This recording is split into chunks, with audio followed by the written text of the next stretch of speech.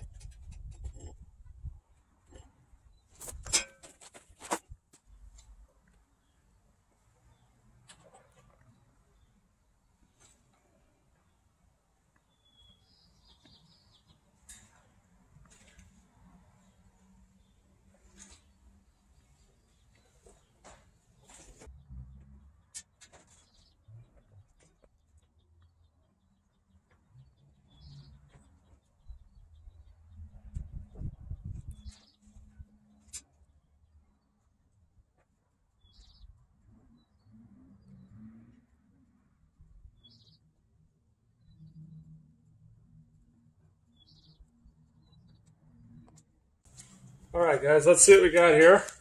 Here's our pour. Oh, here's our metal button.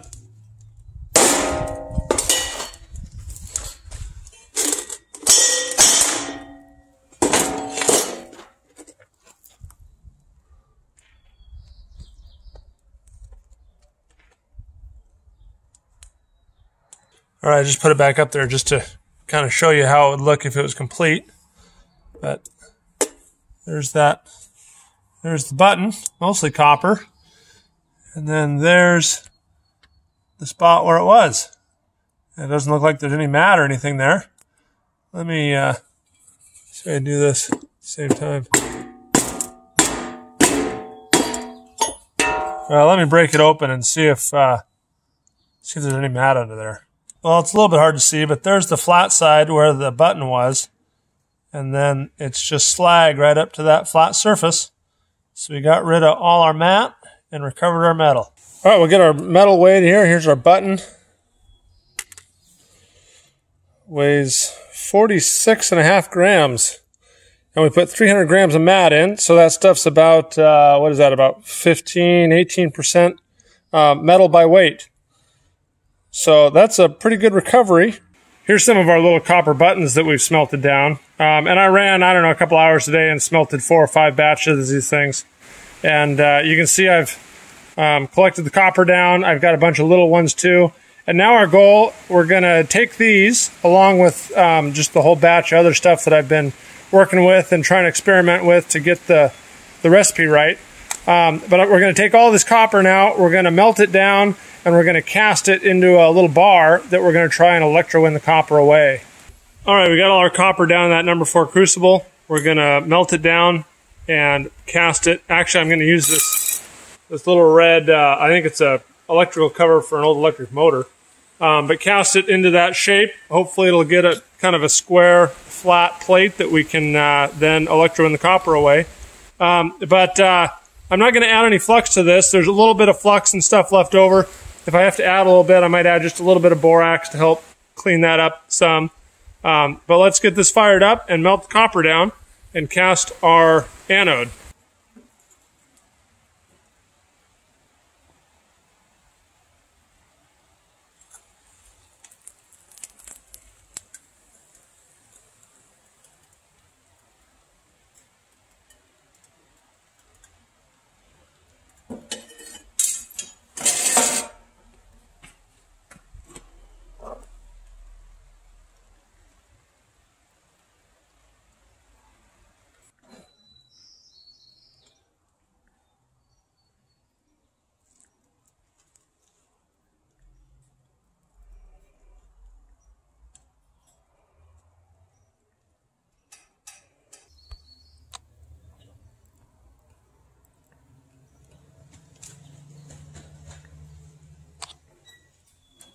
All right, guys. Well, I'm actually almost too embarrassed to show you this, um, but this is our little electrowinning cell.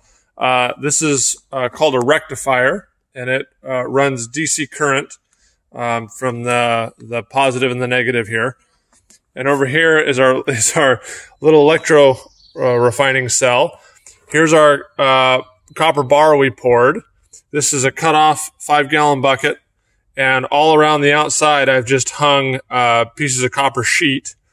And um, I've connected the anode to the positive and the cathode here to the negative, um, which is the, the copper sheets, all the cathode here.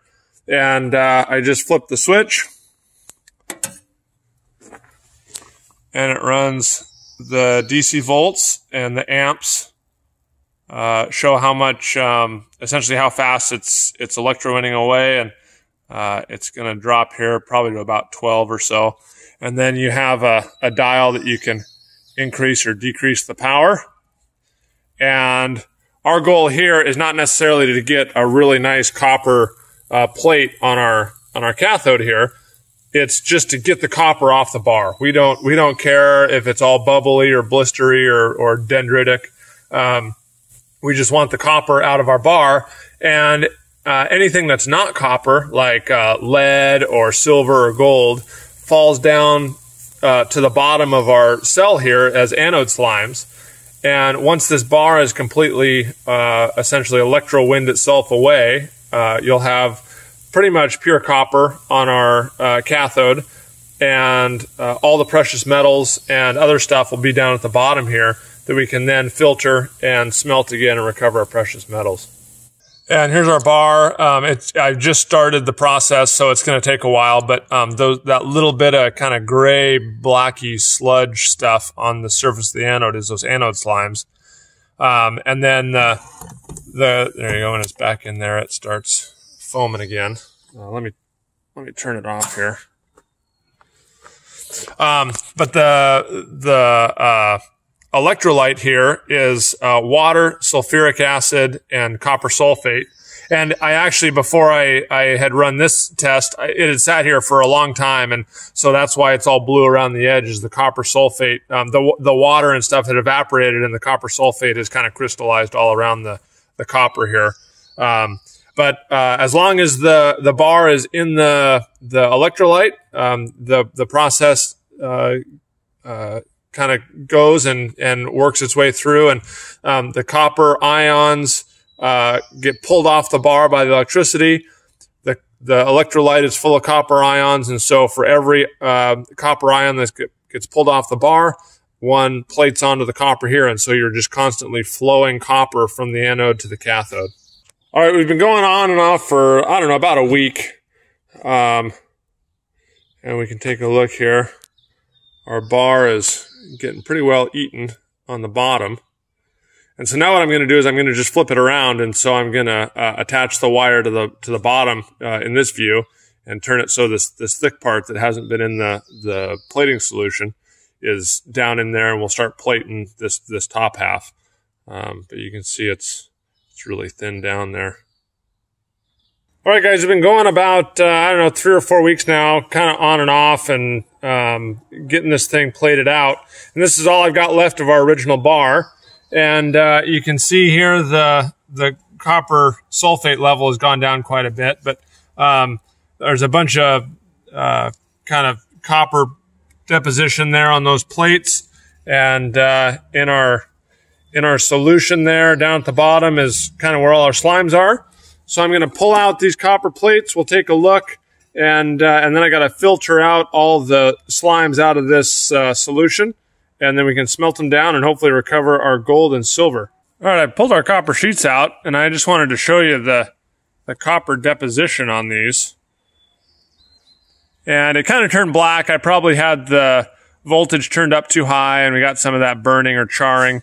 Um, but it, again, we weren't going for uh, the best plating surface we could. We just wanted to shed the copper as fast as possible, and so that's why it looks kind of all mossy. And but it's all pretty hard, and it's it's actually really pretty heavy. So um, that did its job there. And then over here, I've got uh, this is just a five gallon bucket.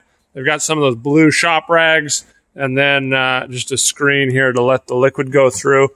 So I'm going to pour it on there slowly and let the liquid go through and hopefully all of our uh, slimes will be left here in our filter paper and we can smelt those down.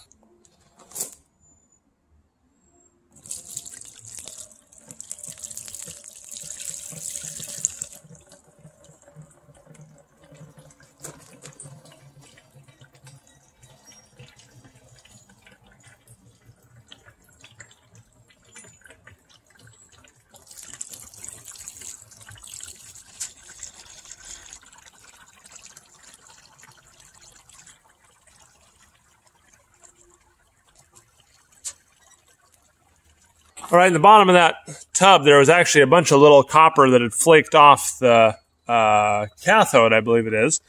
Um, and so I just put a 20 mesh screen and I poured some water through it and cleaned it out. But you can see the, it's just little flakes of copper and I've washed as much slime through the screen as I can. Um, so we'll let it, we'll let the slimes filter out I've got the copper out that we don't want to uh, smelt again. And once those uh, those slimes filter through, we'll get that filter paper out and, and see what we, we can recover out of that stuff.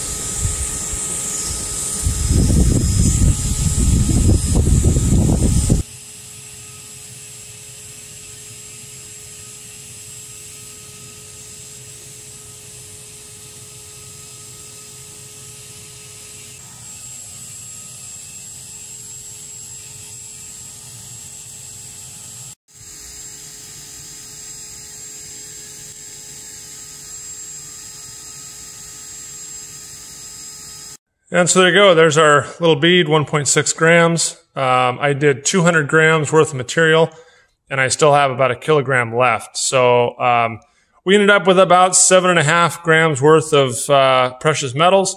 And judging by the color of this thing, it's probably somewhere in the 50% gold, 50% silver range. Um, so anyway, uh, I've been getting a lot of questions about a video like this about uh, refining gold and silver with uh, electrowinning copper. So I wanted to show it off. Um, again, my my setup was was pretty ragtag there, but um, we ended up with some precious metals. So I'm going to work through uh, in my spare time and, and work through the rest of that uh, copper um, slimes, those slimes we got in the tub, and clean up and get some more of this uh, precious metals. So I hope you guys enjoyed the video. Uh, if you have any questions or comments, you can find our contact information in the description below. So thanks for watching, and we'll see you on the next video.